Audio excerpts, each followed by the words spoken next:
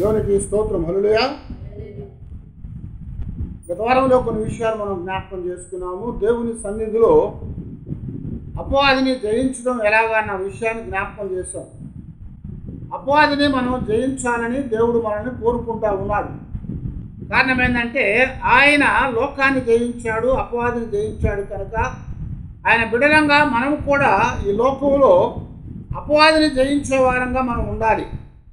ఆ అపవాదిని జయించినప్పుడు ఆయన పిల్లలుగా దేవుని యొక్క గొప్ప విజయాన్ని దేవుడు మనకు అనుగ్రహిస్తాడని మాట్లాడుతూ వచ్చాడు. అయితే ఈ దినాన మరొక విషయాన్ని మనం జ్ఞాపకం చేసుకున్నట్లయితే ఈరోజు దేవుని యొక్క లేఖనాల్లో నుంచి ఆ పాత నిబంధనలో ద్వితీయోపదేశకాండం ముందు నాలుగో అధ్యాయం తొమ్మిదో వచ్చులో మోసే ద్వారా ఇస్రాయల్ ప్రజలైనటువంటి వారికి దేవుని యొక్క ఒక హెచ్చరికను ఇచ్చాడు. అదేంటంటే నీవు జాగ్రత్త పడుము నీ కన్నులారా చూచిన వాటిని మరొక ఉండునట్లు అవి నీ జీవితకాలమంతయు నీ హృదయంలోని నుండి తొలగిపోకుండానట్లుగా నీ మనస్సును బహు జాగ్రత్తగా కాపాడుకో అని చెప్తా వచ్చాడు. దేవుని యొక్క సన్నిధిలో మనం ఎల్లప్పుడూ కూడా మనల్ని మనం కాపాడుకోవాలన్న విషయాన్ని దేవుడు ఎప్పుడూ కూడా జ్ఞాపకం చేస్తున్నాడు. ఆది నుంచి కూడా దేవుడు తన పిల్లలైనటువంటి వారిని కాపాడుకోమని చెప్తా వచ్చాడు. అనేకమైన విషయాలు వారి జీవితాల్లో కాపాడుకోమని దేవుడు చెప్పాడు. ఆది నుంచి కూడా ఏలేను తోట నుంచి చివరి ప్రణానందం వరకు కూడా కాపాడుకోవాలని దేవుడు ఎన్నోసార్లు హెచ్చరించాడు. మనల్ని మనం కాపాడుకోవాలి. మన హృదయాన్ని మనం కాపాడుకోవాలి. మనల్ని కాపాడుకుంటూ అక్కడ ఇస్రాయల్కి చెప్పిన మాట ఏంటంటే మీ కుమారులకు వారి కుమారులకు కూడా వాటిని మీరు నేర్పించండి. నేర్పించి వాటి ద్వారా వాళ్ళ జీవితాల్ని ఆశీర్వాదకరంగా ఉండేట్లుగా చూసుకోవాలని చెప్పి దేవుడు వాళ్ళకి హెచ్చరించినట్టు మనం గమనిస్తూ వచ్చాం. అందువలన మనల్ని మనము కాపాడుకోవాలి. ఎలాగ కాపాడుకోవాలి? వేటి నుండి కాపాడుకోవాలని మనం జాగ్రత్తగా చూస్తున్నట్లయితే దేవుడు కొన్ని విషయాలు మనకి ఇక్కడ జ్ఞాపకం చేస్తున్నాడు. దేనిని కాపాడుకోవాలంటే మొట్టమొదట దేవుడు చెప్తున్నాడు కదా మొదటి తెశలకు రాసిన పత్రిక నాలుగో అధ్యాయము ఐదో వచనంలో పరిశుద్ధత ఎందును ఘనత ఎందును తన తన ఘటమును ఎట్లు కాపాడుకొనవలెనో అది ఎరిగి ఉండుటయే దేవుని యొక్క చిత్తము. అలలుయా ఏమని జ్ఞాపకం చేస్తున్నామండి మనం ఘటము అంటే అర్థం ఏంటి? ఘటము అంటే తెలుగులో ఘటం అంటే కుండ. తెలుగులో ఘటం అంటే కుండ. ఇంగ్లీష్ అక్కడ వెసల్ అని రాశాడు. ఘటం అనగా కుండ. అందుకనే వాయిద్యాల్లో కూడా కుండ మీద వాయిద్యం చేస్తారు. సంగీతాన్ని వాయిస్తారు. ఘట వాయిద్యం అంటారు దానిని. అయితే ఇక్కడ మానవ జీవితాన్ని దేవుడు ఒక ఘట్టముతో ఒక పాత్రతో పోల్చాడు. ఆ పాత్ర అనేది ఎప్పుడూ కూడా మనం జాగ్రత్తగా కాపాడుకోవాలని దేవుని వాక్యంలో పౌలు గారి ద్వారా దేవుడు ఇక్కడ మాట్లాడుతూ వచ్చాడు. మన ఘటాన్ని మనము జాగ్రత్తగా కాపాడుకుంటూ ఉండాలి. ఆ పాత్రను జాగ్రత్తగా కాపాడుకోవాలి. ఎందుకంటే దేవుడు ఇచ్చిన పాత్ర అనేది చాలా విలువైనటువంటిది. ఆ పాత్ర ఎప్పటికప్పుడు మనం జాగ్రత్తగా కాపాడుకోకపోతే అది ప్రమాదంలో పడేదిగా ఉంటుందన్నమాట. అందుకొరకే పూర్వకాలాల్లో ఎక్కువగా ఏ పాత్రలు ఉండేవి? మట్టి పాత్రలు ఉండేవి. దురుసుగా ఉన్నా లెక్క లేకుండా ఉన్నా బాధ్యత లేకుండా ఉన్నా ఆ పాత్రలు ఏమవుతాయి? ఊరికే పాడైపోతాయి పగిలిపోతాయి. అదే ఏదో మెటల్తో చేసింది లోహం అల్యూమినియందో లేకపోతే ఇత్తడితో రాగిదో అనుకోండి ఏం చేస్తాము? చొట్ట తీయించుకుంటాం చొట్టబడిపోద్ది కింద పడితే. కానీ గతమానంగా మట్టి పాత్ర అది. ఆ మట్టి పాత్ర అనేది జాగ్రత్తగా చూసుకోవాలి.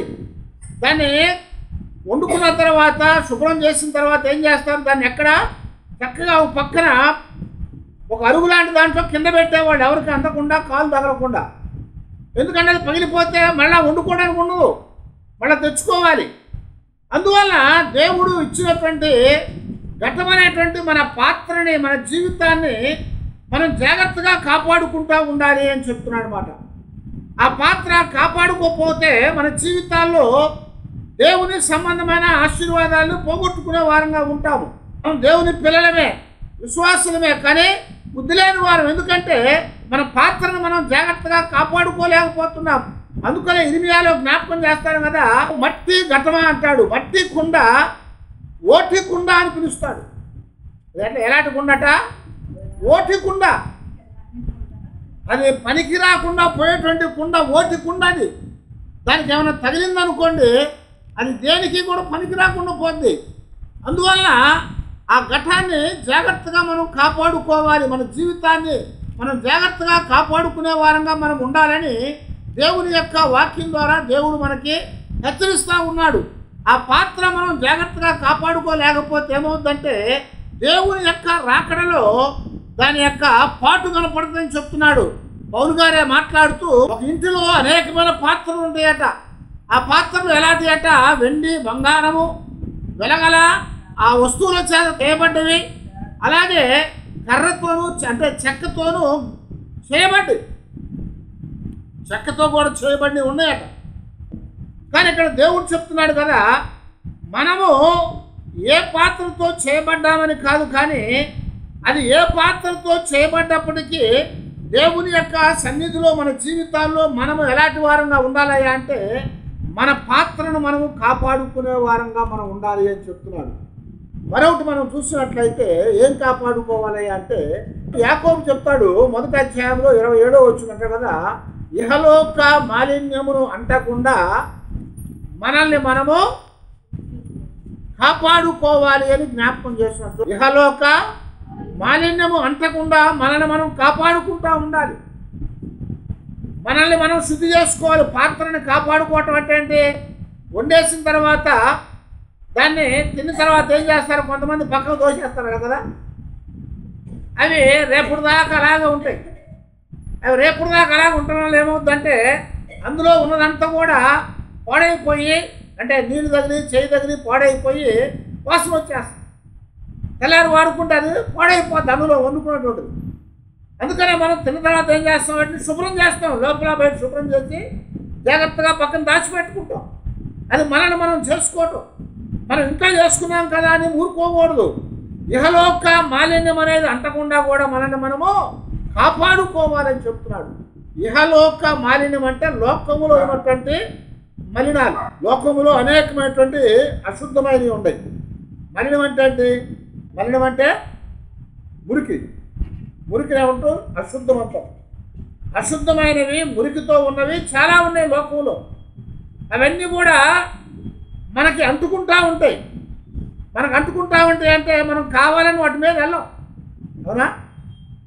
కావాలని ఎవరు కూడా అంటించుకోవడానికి ఇష్టపడరు. ఒకవేళ అలా అంటించుకుంటే వాడు పిచ్చోడై ఉంటాడు.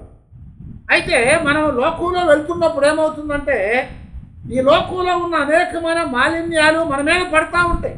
అందువలన ఇక్కడ దేవుడు మనకు చెప్పినట్లుగా మనము మనల్ని మనం శుద్ధి చేసుకోవాలి ఇహలోక మాలిన్యం అంటకుండా. చక్కగా స్నానం చేసాము మంచి బట్టలు వేసుకున్నాము బజార్ వెళ్ళాం. వెళ్తా ఉండంగానే ఆ పక్కనే ఉన్నటువంటి వర్షం వల్ల పడ్డ నీళ్ళు ఆగిపోయి ఎవడో స్పీడ్ అందులోంచి వెళ్ళిపోతాడు బండి వేసుకొని ఆ నీళ్ళన్నీ చిమ్మేమవుతుంది? మన యొక్క శరీరం మీద బట్టల మీద అంతా కూడా మురికైపోద్ది. మనం కావాలని ఆ నీళ్ళలోకి వెళ్ళలేదు. అయితే ఎవడో దాని వలన పొరపాటు వలన అది మన మీద పడుతూ ఉంటుంది. అందుకొరకే ఇహలోక మాలిన్యము అంటకుండా తనను తాను కాపాడుకుంటూ ఉండాలి. కొన్ని పర్యాయాలు అక్కడ గుంటుందని వర్షం నీరు ఆగిపోయిందని మనం చూస్తా కూడా దాని పక్కకి వెళ్తూ ఉంటాం. అంటే దాని అర్థం ఏంటి? జాగ్రత్త లేకపోవటం. కదా? జాగ్రత్త లేకపోవటం. అదేం చేస్తలే? బండి వచ్చి వెళ్ళిపోతాను అనుకొని ఓవర్ కాన్ఫిడెన్స్తో ఉంటాం. మనం వెళ్తూ ఉంటాం చివరికి వెళ్ళే లోపల ఎవడో ఒకడు బండితో వస్తాడు స్పీడ్గా ఆ నీళ్ళలోకి వెళ్ళి మీద పడిపోతాం. అందుకే మనం ఏం చేయాలంటే ఒకవేళ అక్కడ మురికితో ఉన్న గుంట ఉంది లేకపోతే నీళ్ళు ఉన్నాయి లేకపోతే మాలిన్యం ఉందని తెలిసినప్పుడట మనం దూరంగా పక్కకి వెళ్ళే వారంగా మనం ఉండాలి తనను తాను కాపాడుకోవాలి అని చెప్తున్నాం ఎవడో చేశాడని వాడి మీద నిందయకూడదు అక్కడ ఎవడో చేసినప్పటికి కూడా మనల్ని మనం కాపాడుకోవాలి. ఆ రోజున మరి ఏదేని తోటలో కూడా జరిగినటువంటి సంఘటన అదే. ఆ యొక్క సర్పం అనేది వచ్చి ఏం చేసింది? అవ్వముతో ముచ్చుటాడినప్పుడు అవేం చెప్పాలి? దేవుడు మాకు చెప్పాడు నువ్వు పక్కకు పోమని చెప్పాలి. అంతేగాని దేవుడు చెప్పిన దాన్నే వక్రీకరింప చేసి దాన్ని మాట్లాడటం వల్ల ఏమైంది? ఆ పండు తిన్నది దానివల్ల ఫలితం ఏమైంది? తన జీవితంలో దైవ సంబంధమైన సంస్థాన్ని కూడా పోగొట్టుకుంది కాపాడుకోలేక.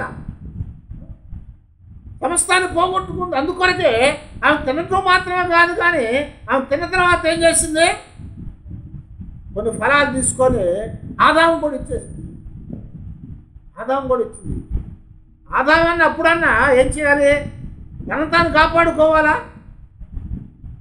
ఆయన కూడా కాపాడుకోలే పాపం. ఆతాన్ అనేది సర్పాన్ని ప్రేరేపించింది. సర్పంలో ప్రవేశించింది. సర్పం వచ్చి అవ్వమని ఆ యొక్క శోధంలో పెట్టి ఆమె యొక్క జీవితంలో మాలిన్యాన్ని పూసింది. ఆ మాలిన్యం ఏం చేసింది? అవ్వమ్మ ఆదాం కట్టించింది. ఆదాం కట్టించిన మాలిన్యం ఇప్పుడు ఏమైందట? ఒక మనుష్యుని అవిధేయత వలన మనుషులందరూ కూడా ఏమైపోయారట? అవిధేయులైపోయారని చెప్పాడు పౌరు గారు రోమపత్రుడు ఇహలోక మాలిన్యము మన మీద పడిపోతూ ఉంది. మనం అలా వెళ్తున్నాం కనుక అది పడతా ఉంది. అందుకే మరి బైబిల్లో రాస్తున్నాడు కదా మీ హృదయ ఆత్మలో కలిగిన ప్రతి మాలిన్యాన్ని మీరు శుద్ధి చేసుకోండి అని చెప్తున్నారు మన జీవితాల్లో హృదయానికి ఆత్మకు కలిగిన ఆత్మకు శరీరానికి కలిగిన ప్రతి మాలిన్యాన్ని మనము శుద్ధి చేసుకోవాలి. ఎలా శుద్ధి చేసుకుంటామయ్యా అంటే దేవుని యొక్క వాక్యంలో చెప్పినట్టుగా వాక్యం అనే సబ్బు చేత మనము శుద్ధి చేసుకోవాలి. మురికైంది కదా అనుకోండి చేతులకు మురికైంది నూనె అయింది. అయితే అదైనప్పుడు ఏం చేస్తాము? అలాగ నీళ్ళతో కడుక్కుంటాం. పోద్దా? పోదు. దానికి ఏం చేయాలి? కొద్ది సబ్బు రాసుకోవాలి. కొద్ది సబ్బు రాసుకొని శుభ్రంగా కడిగితే ఆ జిడ్డు పోద్ది. లేకపోతే ఏమవుతుంది? అది మనం చొక్కా కంటుకుంటే చొక్కా కంటుకుంటుంది ముఖం మీద పెట్టుకుంటే ముఖానికి కంటుకుంటుంది తెలియకుండా గౌక్కున్న కళ్ళల్లో ఇట్లా తుడుచుకున్నామంటే కళ్ళు మంట ముట్టుకోం అందువలన దేవుని వాక్యం అనే సబ్బుతో రాసుకొని దేవుని వాక్యమైనటువంటి నేల చేత దానిని శుద్ధి చేసుకోవాలి. అది శుద్ధి చేసుకున్నప్పుడు ఆ మాలిన్యం అనేది మనతో ఉండకుండా శుభ్రం అవుతూ ఉంటుంది. కాబట్టి మన జీవితాల్లో మనము ఇహలోక సంబంధమైన మాలిన్యము మనకు అంటకుండా మనల్ని మనమే కాపాడుకోవాలి. దేవుని వాక్యం మనకి ఇక్కడ జ్ఞాపకం చేస్తాం ఎప్పుడైతే ఇహలోక మాలిన్యాన్ని అంటకుండా మనల్ని మనం కాపాడుకుంటామో అప్పుడు ఏమవుతుందంటే మన జీవితాల్లో మన నోటిని కూడా అదుపులో పెట్టుకోగలుగుతాం మన నోటిని కాపాడుకోగలుగుతాం. ఎందుకంటే సామెత గ్రంథంలో గమనించినట్లయితే పదమూడవ అధ్యాయంలో మూడవ వచనంలో సులోమాను మాట్లాడుతూ మాట చెప్తా ఉన్నాడు. తన నోరును కాపాడుకునేవాడు తనను తాను కాపాడుకుంటాడు. ఓరకనే మాట్లాడుతూ ఉండేవాడు ఏం చేస్తాడట? తన నాశనానికి తెచ్చుకుంటాడని చెప్తున్నాడు. ఇది చాలాసార్లు పెద్దలు కూడా చెప్తూ ఉంటారు. జ్ఞానాన్ని సలోమాను ఎప్పుడో చెప్పాడు అది. అదే విషయాన్ని ఈ రోజున పెద్దలు కూడా చెప్తున్నారు. ఏమనంటే నోరు కాపాడుకోవాలని. నోరు కాపాడుకుంటే ఒక సామెత ఉంది కదా నోరు మంచిదైతే ఊరు మంచిది అవుతుంది నోరు మంచిది కాకపోతే ఊరంతా చెడ్డదైపోదు అంటే వ్యతిరేకం అయిపోద్ది మనకి. అలాగే మరొక సామెత ఉంది. నోరా నా ఈపుకి చెట్టు తేవద్దని నోరు మాట్లాడుతూ ఉంటుంది ఈ పంత పగల కొడుతూ ఉంటారు. కనుక మన జీవితంలో మన నోటిని కూడా భద్రం చేసుకోవాలని చెప్తున్నాడు. ఆ నోటిని భద్రం చేసుకోలేకపోతే ఏమవుతామంటే చాలా ఇబ్బంది పడిపోతాం. ఆ నోరు అనేది భయంకరమైందని చెప్పేసి ఏకోపే జ్ఞాపకం చేస్తూ ఉంటాడు. ఏకో పత్రిక మూడో అధ్యాయము మూడో వచ్చిన దగ్గర నుంచి. గుర్రములు మనకు లోబడుటకై నోటికి కళ్ళెము పెట్టి వాటి శరీరమంతయు తిప్పుదుము కదా? ఓడలను కూడా చూడుని అవి ఎంతో గొప్పవైనను పెనుగాలికి కొట్టుకొని పోబడినను ఓడ నడుపు వారి ఉద్దేశము చొప్పున మిక్కిలి చిన్నదగు చుక్కాని చేత తిప్పబడును. అలాగుననే నాలుక కూడా చిన్న అవయములైనను బహుగా అదిరిపడును. అది ఎంత కొంచెము? నుప్పు విస్తారమైన అడవిని తగలబెట్టును. నాలుక అగ్నియే. నాలుక మన అవయములలో ఉంచబడిన పాప ప్రపంచమును సర్వ శరీరమునకు మాలిన్యము కలుగ చేయును ప్రకృతి చక్రమునకు చిచ్చు పెట్టును. అది నరకము చేత చిచ్చు పెట్టబడును అని చెప్తున్నాడు. ఏమన్నాడు? మన జీవితాల్లో ఎన్నో మృగాల్ని జంతువుల్ని సాధు చేసుకోవటం చూస్తూ ఉన్నాం. సర్కాసులో పులుల్ని సింహాన్ని సాధు చేస్తారు. అవి వాడి చేతిలో కర్రను చూసి పంటను చూసి భయపడిపోయి వాడు చెప్పినట్టు చేస్తాయి. మనిషి కనపడితే నిలబడి మింగేస్తాయి కదా? అలాంటిది ఒక చిన్న కర్ర లేకపోతే ఒక చిన్న కొరడ దాన్ని తీసుకొని వాటిని అదుపు చేస్తాడు. అయినా వాడు ఊపుతా ఉంటే వాడు చెప్పినట్టుగా చేస్తూ ఉంటాయి ఎందుకంటే దానికి సాధువు చేయబడ్డాయి. అలాగే గుర్రాలు ఉన్నాయి. గుర్రాన్ని ఎవడు కూడా సరిగా పట్టుకొని చేయలేడు. ఎందుకంటే అవి చిక్కు పరిగెడతాయి అన్నిటికంటే వేగంగా పరిగెడతాయి.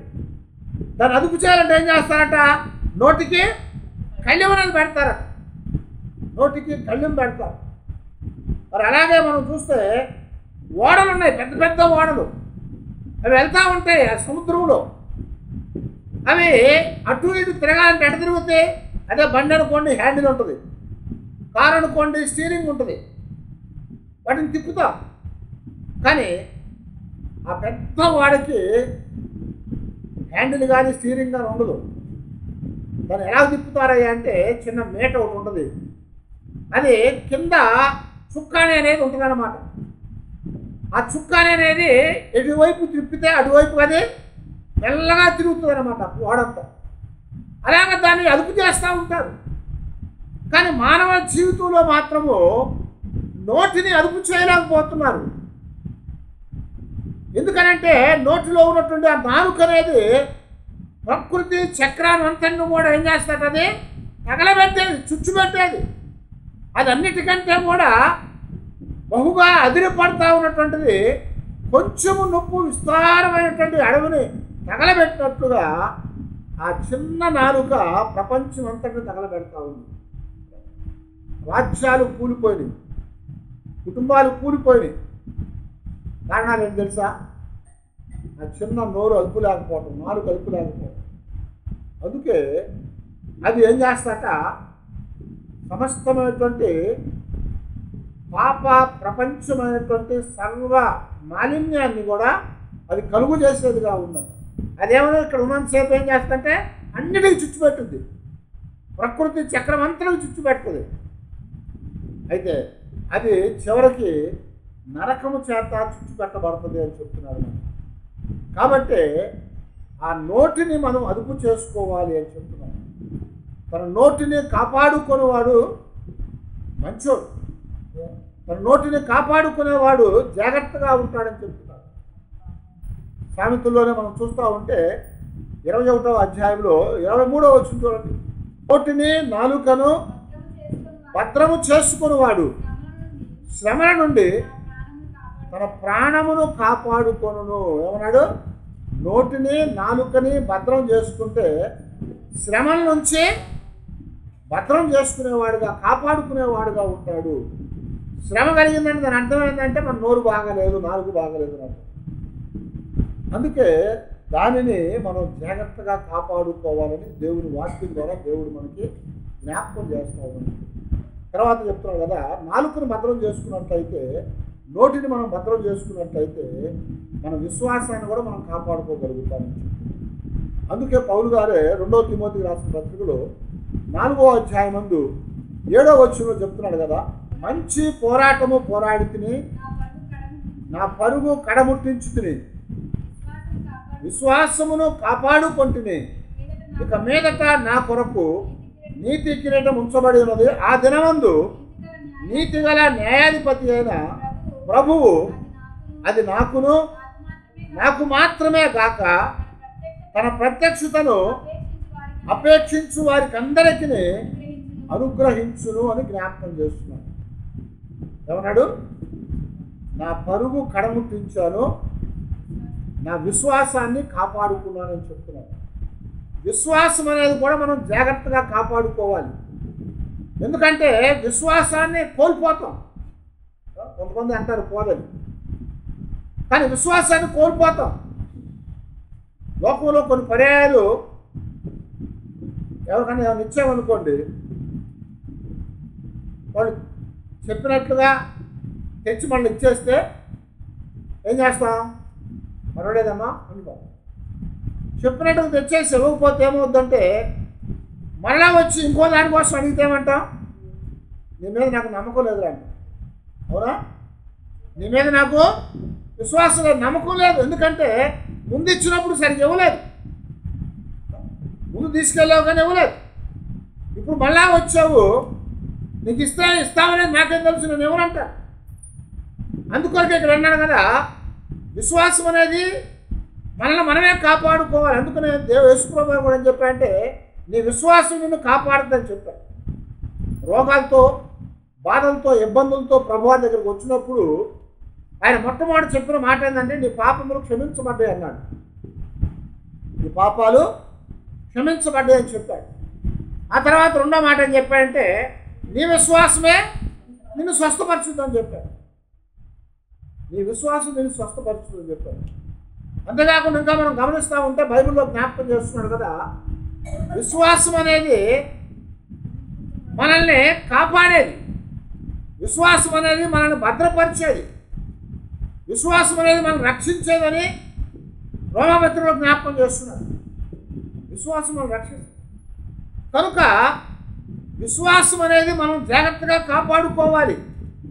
విశ్వాసాన్ని మనం కాపాడుకోలేకపోతే మన జీవితాలు ఏమవుతామంటే మనం కాపాడకుండా పాడైపోతాం. చాలాసార్లు మీకు చెప్పాను కదా పౌరు గారు చెప్పినట్టుగా అలెగ్జాండర్ హొమేని వారు ఏం చేస్తారట? విశ్వాస భ్రష్టులైపోయారట విశ్వాస భ్రష్టులైపోయారు అంటే విశ్వాసంలోకి పోయారు. చాలా పర్యాలు ఇది కూడా నేను చెప్పాను మీకు. యశుప్రభు నీళ్ళ మీద నడిచొస్తా ఉన్నప్పుడు దోణిలో వెళ్తా ఉన్నవారు భయపడిపోయారు. అర్ధరాత్రి నడి సముద్రంలో ఉన్నారు. అయ్యో పోతాం పోతాం అని కేకలేస్తారు. అందరూ భయపడిపోయి. ఎందుకంటే సముద్రంలో చాలామంది చచ్చిపోతూ ఉంటారు. ఆ సముద్రంలో చచ్చిపోయిన వాళ్ళు కొన్నిసార్లు ఆ ప్రయాణం చేసేవాడు కనపడతా ఉంటారు. కనుక ప్రభువారు దూరం ఉంచి వీళ్ళు ముందు వెళ్ళిపోయారు. ప్రభు కాసేపు ప్రార్థన చేసుకొని నీళ్ళ మీద నడుచుకుంటూ వెళ్ళిపోతూ ఉన్నాడు. ఆ నీళ్ళ మీద నడుచుకుంటా దగ్గరకు వచ్చేది ఏమవుతుందంటే పడవలో ఉన్న వాళ్ళకి తెల్లటి ఆకారం కనపడి భయపడిపోయి భూతం భూతం అని కేకలేశారు. ప్రభు వాళ్ళని చూసి భయపడవద్దు నేనే అని చెప్పాడు. అని చెప్పగానే వెంటనే పేతురు ఏం చేశాడంటే ప్రభా నువ్వేనా అంటే నేనే పేతురు అని చెప్పాను ప్రభా అది నువ్వే అయితే నేను కూడా నీళ్ళ మీద నడిచి వస్తానయ్యా అన్నాడు. అవునండి ప్రభు. సరే రమ్మని చెప్పాడు అంటే నేల మీద నడవాల్సినంత విశ్వాసము అంత ఆశ నీకు ఉంది కదా రా అన్నాడు. గబగబా దోనిలో నుంచి ఏం చేశాడు? కాలు బయట పెట్టేశాడు. కాలు బయట పెట్టేసి నేల మీద నడుచుకుంటూ వెళ్ళిపోయాడు గబగబా. ముందేమో భూతమని భయపడినటువంటి వాడు కేకలేసిన వాడు. నేనేం చెప్పగానే ప్రభువు వెంటనే కాలు తీసి బయట పెట్టేసి నీళ్ళ మీద నీళ్ళ మీద నడుచుకుంటూ వెళ్ళిపోయాడు. ధోని ఎక్కడ ఉంది? ప్రభు అటువైపు ఉన్నారు. ధోనికి ప్రభుకి మధ్యలోకి వచ్చేసాడు. మధ్యలోకి రాగానే ఏమైంది తెలుసా? వెంటనే గాలి తగిలిందండి సముద్రం మీద చల్లటి గాలి తగులుతూ ఉంది. అలలు శబ్దం వినపడతా ఉంది. నీటి యొక్క కరడాలు కనపడతా ఉన్నాయి. ఆ వెన్నెల్లో సముద్రం అంతా కనపడతా ఉంది. అది చూడంగానే అనుకున్నాడు అయ్యో నేనేంది నేనే నిల్చోడమేంది అనుకున్నాడు. వెంటనే మునిగిపోవటం ప్రారంభించాడు. ప్రభు చేయి చాచి పేతుడిని పట్టుకొని అల్ప విశ్వాసి అని గద్దించి పైకి లేపి దోన్లో కూర్చోబెట్టాం. అయితే విశ్వాసం అనేది మనం జాగ్రత్తగా కాపాడుకోవాలి. లేకపోతే విశ్వాసం అనేది పోతుంది. విశ్వాసం పోయిందంటే మనం బ్రతికినటువంటి ఆ బ్రతుకంతా కూడా వ్యర్థమైపోతుంది మనం దేవుని పెరడమని దేని ద్వారా చెప్పబడతా ఉన్నాయంటే విశ్వాసం ద్వారానే. అందుకనే ప్రభు కూడా యోహోను పత్రికలో మనకి ప్ర- యోహోను ద్వారా రాయించాడు నీ విశ్వాసమే లోకాన్ని జయించానని చెప్పాడు. నీ విశ్వాసమే లోకాన్ని జయించాడన్నాడు లోకాన్ని జయించే విశ్వాసాన్ని మనం పాడు చేసుకుంటే మనం భ్రష్టులు అయిపోతాం. అలెగ్జాంద్రు హొమేనియులాగా కాబట్టి ఆ విశ్వాసం అనేది మనం జాగ్రత్తగా కాపాడుకోవాలి. మరి యేసు ప్రభువారు కూడా యోహోను గారికి ప్రత్యక్షించి ప్రకటనలో మూడో అధ్యాయం పదో వచ్చిన మనం చదివితే నీవు నా ఓర్పు విషయమైన వాక్యమును గైకొంటివి గనుక భూనివాసులను శోధించుటకు లోకమంతటి మీదకి రాబోవు శోధన కాలమున నేను నిన్ను కాపాడుదును. ఏమన్నాడు? శోధన కాలమున నేను నిన్ను కాపాడుతాడు ఎందుకు కాపాడతాడట? లోకములో ఏం చేశారంట? ఓర్పు విషయమై వాక్యము గైకొంటిని గనుక అని చెప్తున్నాడు. భూనివాసులకు శోధన శోధన కలిగినప్పుడట లోకమంతల మీదకి రాబోయే శోధనలో నేను నిన్ను కాపాడుతాను అన్నాడు. కారణం ఏంటంటే దేవుని వాక్యము ద్వారా విశ్వాసం కలుగుతుంది. రోమపత్రిక పదో అధ్యాయం పదిహేడు వచ్చిన చెప్తా ఉంటాడు. వినుట వలన విశ్వాసం కలుగును. వినుట క్రీస్తుని కూర్చున్న మాట వలన కలుగుతుంది అన్నాడు. వింటా ఉంటే విశ్వాసం వచ్చింది. ఆ వినేది ఏదయ్యా అంటే యేసుక్రీస్తు వారి యొక్క మాట. అందుకని ఇక్కడ ప్రభు ఏం చెప్తున్నాడంటే దూతతో దూత ద్వారా పిలదలిపియాలో ఉన్నటువంటి సంఘంతో దేవుడు మాట్లాడుతూ నీవు ఓర్పు విషయములో వాక్యాన్ని గైకొన్నావు. వాక్యం గైకొన్నాడు కాబట్టి ఏమైంది? విశ్వాసం అనేది కలిగింది. ఆ విశ్వాసం అనేది కలిగింది కాబట్టి భూనివాసులకి శోధన కలిగినప్పుడు లోకంలో వచ్చినటువంటి ఆ శోధనలో నేను నిన్ను కాపాడుతానని చెప్తున్నాడు. ఎందుకు కాపాడుతానన్నాడు? విశ్వాసము ఉంది కాబట్టి. విశ్వాసం అనేది లేకపోతే మనం పాడైపోతాం. విశ్వాసం ద్వారానే మనం రక్షించబడ్డాం. ఉచితంగా విశ్వాసం ద్వారా మనం రక్షించబడ్డామని చెప్తున్నాడు వాక్యంలో ఎందుకనంటే వాక్యము నమ్మిన వాడికి విశ్వాసం కలుగుతుంది. వాక్యం నమ్మి విశ్వాసం వచ్చింది కాబట్టి ఆ విశ్వాసం అనేది యేసుక్రీస్తు వారు మన కొరకు చనిపోయారు రక్తం కార్చారు రక్తంలో మన పాపాలు కడిగాడని మనం నమ్ముతున్నాము. అందువల్ల రక్షించబడతా ఉన్నాం. అయితే ఆ వాక్యాన్ని నువ్వు గైకొన్నావు కనుక ఓర్పు విషయంలో అంటే శ్రమలు కలుగుతున్నప్పుడు బాధలు కలుగుతున్నప్పుడు ఇబ్బంది కలుగుతూ ఉన్నప్పుడు నువ్వు వాక్యాన్ని గైకొన్నావు కనుక నీకు విశ్వాసాన్ని నేను ఇచ్చానని చెప్తున్నాను. అందువలన శోధన కాలంలో నేను నిన్ను తప్పిస్తాను కాపాడుతానని దేవుని యొక్క వాక్యం ద్వారా దేవుడు మనకు ఇక్కడ మాట్లాడుతూ వచ్చాడు. అంతేకాకుండా మధుమతి మొదటి పత్రికలో ఆరో అధ్యాయం అందు పన్నెండవ వచ్చంలో విశ్వాస సంబంధమైన మంచి పోరాటము పోరాడము నిత్య జీవము చేపట్టము దాన్ని పొందుటకు నీవు పిలవబడి అనేక సాక్షుల ఎదుట మంచి ఒప్పుగోలు ఒప్పుకుంటివి. నీతిని భక్తిని విశ్వాసాన్ని ప్రేమను ఓర్పును సాత్వికాన్ని సంపాదించుకోవడానికి ప్రయాసపడాలట ఎందుకంటే ఆ విశ్వాసం అనేదట మన జీవితంలో నిత్య జీవాన్ని కలిగించేదని చెప్తున్నాం విశ్వాసం లేకపోతే ఎక్కడికి వెళ్తాము? నరకానికి వెళ్తాం? విశ్వాసం లేకపోతే నరకానికి వెళ్తాం. విశ్వాసంతో ఉంటే పరలోకానికి వెళ్తాం. కాబట్టి విశ్వాసాన్ని మనము జాగ్రత్తగా కాపాడుకోవాలని. చివరిగా మనం చూసినట్లయితే మన జీవితాల్లో పౌరు గారు ఎఫ్ఎస్సి పత్రికలో నాలుగో అధ్యాయం మొదటి వచ్చింది చెప్తున్నాడు కదా. కాబట్టి మీరు సమాధానమును బంధము చేత ఆత్మ కలిగించు. ఐక్యమును కాపాడుకుంటూ శ్రద్ధ కలిగిన వారై ప్రేమతో ఒకరినొకరు సహించుచు మీరు పిలవబడిన పిలుపునకు తగినట్లుగా దీర్ఘశాంతముతో కూడిన సంపూర్ణ వినయముతో సాత్వికతతోనూ నడుచుకున్న వాళ్ళని ప్రభువును బట్టి ఖైదీనైన నేను మిమ్మల్ని ప్రతిమాలు కొనుచున్నాను. ఏమన్నాడు ఇక్కడ? కాబట్టి మీరు సమాధానమును సమాధానమును బంధము చేత ఆత్మ కలిగించే ఐక్యమును కాపాడుకోవాలి. ఐక్యత అనేది మనం కాపాడుకోవాలి. ఐక్యత అంటే ఏంటి? కలిసి ఉంటాం ఐక్యత అంటే కలిసి ఉండటం. ఐక్యత అంటే ఐకమత్యంతో ఉండటం. కలిసి ఉంటాం. ఐక్యత లేకపోతే ఏమవుతాం? విచ్ఛిన్నం అయిపోతూ ఉంటాం.